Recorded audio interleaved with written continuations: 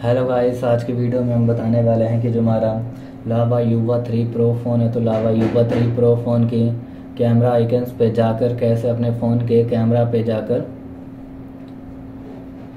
हाँ, कैमरा पे जाकर कैसे अपने फ़ोन के कैमरा पे जाकर स्लो मोशन वीडियो कैसे बना सकते हैं और स्लो मोशन वीडियो कैसे क्रिएट कर सकते हैं लावा युवा थ्री प्रो फ़ोन में और स्लो मोशन वीडियो कैसे बना सकते हैं लावा युवा थ्री प्रो फ़ोन में तो आज हम बताने वाले हैं।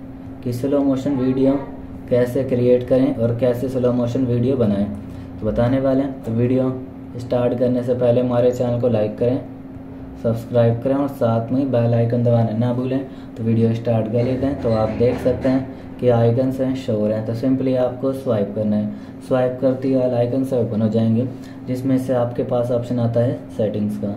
क्लिक करते सेटिंग्स ओपन हो जाएगी, लेकिन आपको बैक करना और कैमरा पे जाना है, जिससे आप स्लो मोशन वीडियो मेक कर सकते हैं और स्लो मोशन वीडियो भी बना सकते हैं कैमरा ऑप्शन